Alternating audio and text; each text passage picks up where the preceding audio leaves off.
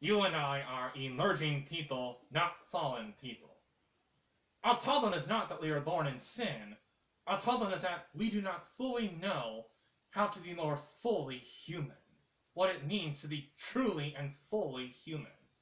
The function of the Christ is not to rescue the sinner, but to enable you, and empower you, empower you to become more fully human than you ever thought you were capable of ever becoming.